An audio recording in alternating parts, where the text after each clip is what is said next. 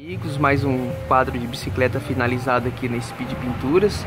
Esse quadro chegou aqui, ele era azul e o cliente pediu para a gente proteger essas duas etiquetas aqui que é muito importante para o quadro, né?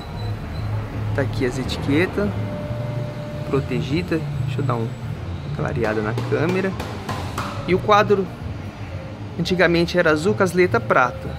Só que o, o a, a letra principal aqui, prata, era contorno preto. E como o quadro é preto agora, não daria para fazer o contorno preto, né? Aí a gente fizemos esse contorno aqui, ó. Em cor de ouro, ó. Vou dar um zoom para vocês verem.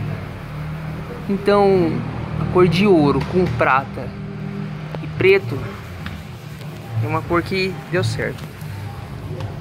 Aí tá aí o serviço finalizado. Obrigado pessoal do Facebook aí que tá compartilhando o serviço da empresa, né?